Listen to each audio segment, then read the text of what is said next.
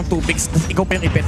Yun yung tipo na ikaw na yung nakapag-priority pick, nakuha mo na yung malakas na hero na gusto mo. Pero dahil nga may two picks ang red side, There you go. pwede silang kumuha ng dalawang uh, Lunox. Pero as you said, pwede pang ang flex yung Julian eh. Yeah, actually may Karina nga eh. Ay, oo, sa jungle. Or room. Hayabusa ni, uh, Ni SD. Ni SD. Kasi kulang silang man eh, physical attack. Ay, akay. Ay, akay pa pala. Akay da. Oo nga, no? Imagine ninyo, umabot tayo sa last pick, hindi man lang pinansin yung akay. Tayo mismo, hindi natin napansin. Oo. Na open pa pala to. Madalas tong binaban, madalas tong pinapryo pick. Pero TNC sabi nila, ay, may akay pa pala. Sige.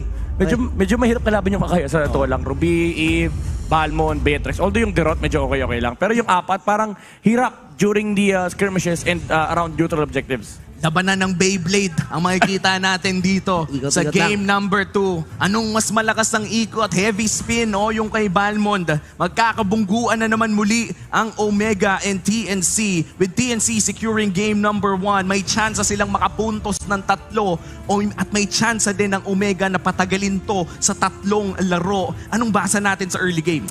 Uh, early, I think it should still be on the hands of uh, the Balmond lineup.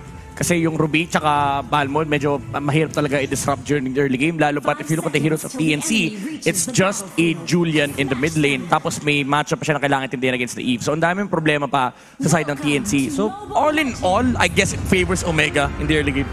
Tapos meron pa silang Beatrix na hindi ganon katagal yung pag-scale up compared to Akari ni Yasuo. So definitely, parang pwede nga tong gamitin ng Omega tong oras sa tuban ng umpisa. Julian at uh, uh, Julian plus Robe, pareha silang level 4 sa Turtle.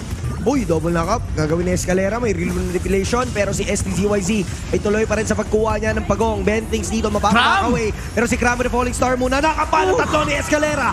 First Wow. blood para sa TNC. Si Miko ngayon ang next target. Started stance pero hindi naaabot. STZYZ attempting to, to steal the orange buff of Barangay Omega. Si Mananakaw niya kaya? lethal Omega still was able to take the turtle away from TNC. Pero ito na, nakikita natin yung threat actually ng Julian no, during the mid game against the Eve.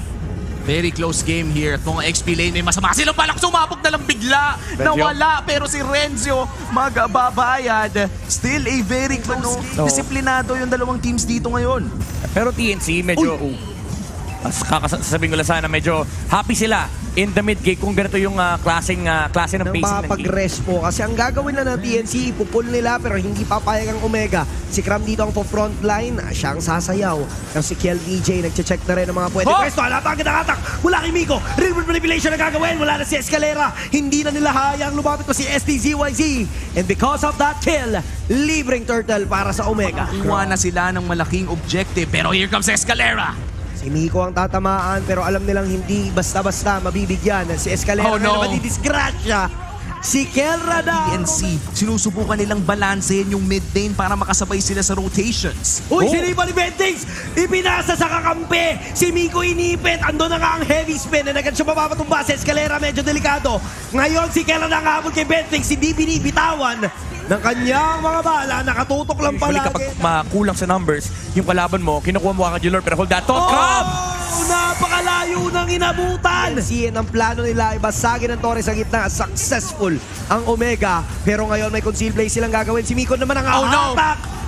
Dalawang kanto ang pagitan na hatak na naman pabalik si Gram. Now it's a 4v5 situation at delikado na talaga ang TNC. May minions pa na parating from Omega. Endable nga ba? Gusto na bang tapusin ng barangay ang Phoenix Army para makapag-game 3 na? STZYZ, tatakas pa naman ng kaunti. Isang minion na lang inaabangan. Grabe naman yung damage na yun. Ito na ang kanilang gagawin. Mag-aantay na lang ng minions na, da- na darating. Kram, aabot pa nga dito sa eksena. Napakaganda ng clear wave coming in from TNC. Pero sama-sama ang Omega. Real world manipulation, binitawan na ni The King. Pero may falling star mo. Naabangan lang sila dito ng mga bala. Kram is down. STZYZ with a heavy. Retro. Pero magbe-base knock na ang barangay.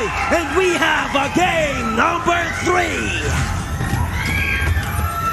Hindi talaga Omega Series kung walang game number 3. At ngayon na, na nakuha na ng Omega ang kanilang unang panalo, momentum is on the side of the barangay.